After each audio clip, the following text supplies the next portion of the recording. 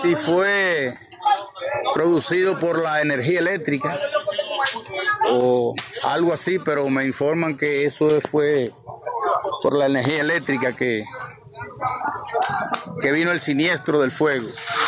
Así que muy lamentable, mírenlo ahí, donde está la casa en llama, aquí de, del señor Cosme Damián Tavera. Muy lamentable, cosa que lamentable, una casa histórica de mucho tiempo, aquí en el municipio de Restauración. Así que ya ustedes saben, estamos informando esto, los bomberos están tratando de seguir buscando más agua para seguir eh, controlando el fuego.